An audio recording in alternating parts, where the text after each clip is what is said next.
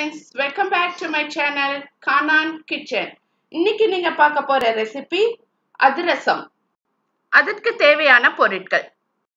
பச்சரிசி ஒரு கிலோ கசகசா ஐம்பது கிராம் ஏலக்காய் தூள் அரை டீஸ்பூன் உப்பு சிறிதளவு வெல்லம் எழுநூத்தி ஐம்பது கிராம்.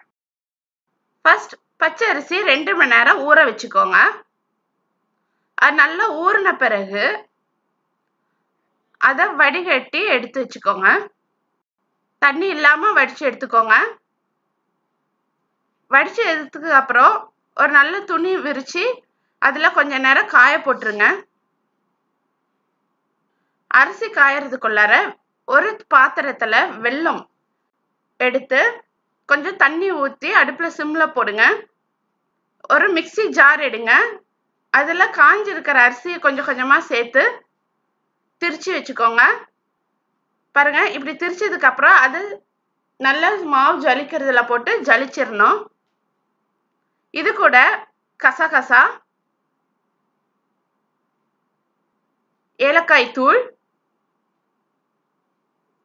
சிறிதளவு உப்பு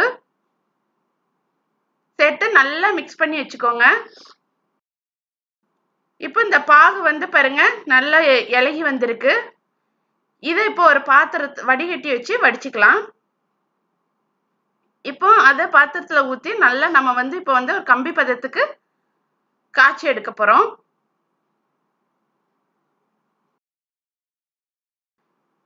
இது வந்து காய்ச்சது போதுமா அப்படின்னு பார்க்கறது வந்து எப்படின்னா ஒரு தட்டில் கொஞ்சமாக தண்ணி எடுத்துக்கோங்க. இதில் ஒரு ட்ராப் ஊற்றுங்க இது வந்து அப்படியே நம்ம வந்து வரல வச்சு இப்படி பரட்டி விடும்போது நல்லா அப்படியே திரண்டு வரணும்.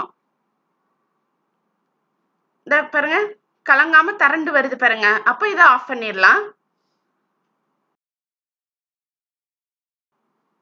ஆஃப் பண்ணிட்டு கொஞ்சம் அப்படியே இது மாவு கூட சேர்த்து சேர்த்து அப்படியே நல்லா கிண்டி கிண்டிட்டு வாங்க. சூடாக இருக்கும்போதே அப்படியே ஊற்றி கிண்ட ஆரம்பிச்சிடணும்.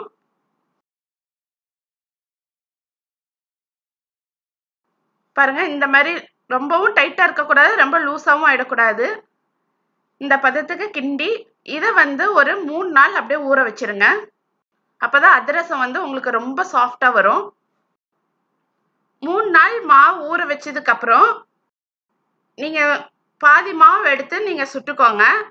மீதி இருக்கிற மாவை ஒரு நல்ல ஒரு கண்டெய்னரில் போட்டு நீங்கள் ஃப்ரிட்ஜில் வச்சுட்டு தேவையான அளவு நீங்கள் எடுத்து எப்போ வேணாலும் எடுத்து நீங்கள் சுட்டுக்கலாம்.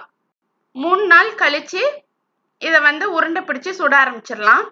மூணு நாள் ஊறினாதாங்க அதிரசம் வந்து நல்ல புஃப் எண்ணெயில் போடும்போது நல்ல புஃபி வரும். ரொம்ப சாஃப்டாகவும் இருக்கும் மொறு மொறுன்ட்டும் வரும். பாருங்க இப்போ மூணு நாள் கழிச்சு இப்படி உருண்டை பிடிச்சிருங்க. ஒரு ஷீட் விரிச்சு அதில் இப்படி உருண்டை பிடிச்சி வச்சுக்கலாம். எண்ணெய் நல்லா சூடாகணும். சூடான அப்புறம் லைட்டாக அமுக்கி அமுக்கி என்ன பண்ணுங்க? எண்ணெயில் போட்டு விட்டுருங்க. எண்ணெயில் போட்ட உடனே நம்ம வந்து கண்டி வச்சு பரட்ட விட பரட்டி விட வேண்டியதில்லை. அதுவே தானாக என்ன ஆகும்? அப்படியே தானாக பொஃபி மேலே வந்துடும் தீ வந்து ரொம்பவும் ஃபுல்லாக வைக்காதீங்க. ரொம்ப சிம்லையும் வச்சிடாதீங்க. மீடியம் ஃப்ளேமில் வச்சிங்கன்னா எண்ணெயும் குடிக்காது. நல்லா வரும். மொறு மொறுன்ட்டு வரும் உள்ளார வந்து.